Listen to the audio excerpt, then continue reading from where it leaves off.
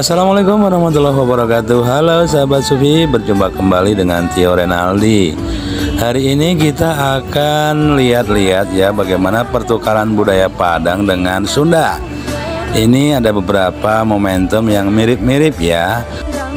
Kebetulan saya bertemu dengan Sultan Agung Nan Sakti Muslim Ridwan dia adalah salah satu keturunan kerajaan Padang yang dijamis aktif dalam paguyuban Wira Utama. Tapi maaf ya, Sultan yang rendah hati ini belum mau nih muncul wajahnya. Yang jelas dia adalah aktivis di Kabupaten Ciamis. Dari penelusuran jejak sejarah, ternyata ada kesamaan antara kerajaan Galuh dengan kerajaan-kerajaan yang ada di kota Padang, Sumatera Barat. Kesamaan ini entah kesengajaan atau memang ada persentuhan antara kerajaan Galuh dengan kerajaan yang ada di Padang. Kesamaan yang terlihat di antaranya adalah penerimaan terhadap agama Islam.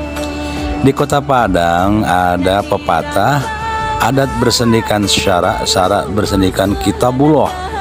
Maka tidak ada di kota Padang ini yang Islamnya tidak kuat ya. Hampir di semua daerah di Padang ini Islam menjadi salah satu agama yang dianut oleh sebagian besar penduduk Sumatera Barat. Hal yang sama juga terjadi di kerajaan Galuh. Hampir mayoritas penduduk Kabupaten Ciamis itu memeluk agama Islam secara taat karena ketika perpindahan dari agama Sang Hyang kepada Islam tidak ada pertentangan sedikit pun. Ajaran-ajaran leluhur Galuh itu banyak titik kesamanya dengan Islam sehingga Islam berkembang pesat di tanah kerajaan Galuh. Kesamaan inilah yang mengundang Belanda untuk mempelajari kelemahan-kelemahan yang ada di kerajaan Galuh dan kerajaan Padang. Waktu itu ada seorang orientalis Senuk Horgronya yang menyamar menjadi muslim bernama Abdul Ghaffar. Perang Padri yang dipimpin Imam Bonjol dan Perang Aceh yang dipimpin Teuku Umar semua dirancang oleh seorang orientalis bernama Senuk Horgronya. Dia satu-satunya penjajah yang ditugaskan untuk mempelajari kelemahan-kelemahan kerajaan Islam.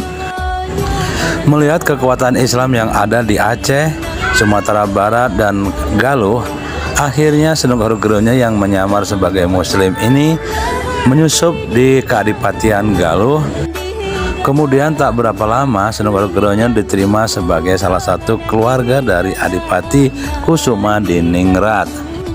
Abdul Ghaffar sang pembenci Islam ini menikah dengan Sang Kana, salah satu putri dari penghulu Galuh waktu itu. Dari pernikahan ini dia mempunyai empat orang anak yang sampai hari ini beranak pinak berkembang di Kabupaten Ciamis. Misi penyamaran Senuk Girlnya sebagai ahli Islam akhirnya terbongkar.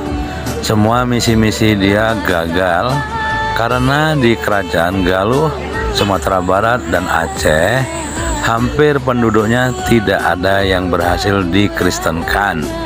Misi kristenisasi hanya berhasil di kalangan terbatas. Penjajah Belanda tidak hanya mengeruk kekayaan Nusantara, tetapi dia juga menyebarkan agama Eropa dengan misi gospel.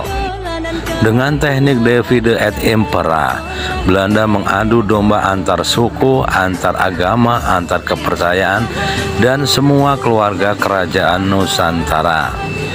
Tidak ada kerajaan non-muslim pada waktu itu. Semua kerajaan-kerajaan Nusantara adalah kerajaan Islam.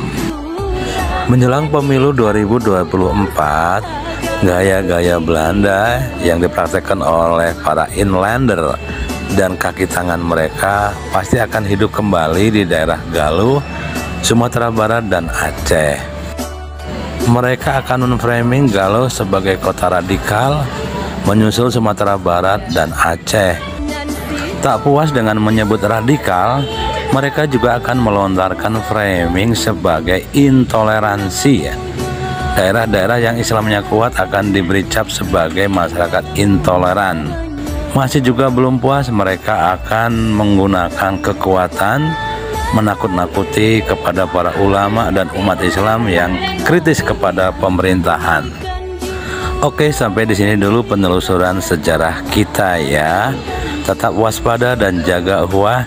Jangan sampai penjajah-penjajah milenial kembali mengkoyak-koyak uhwah kita.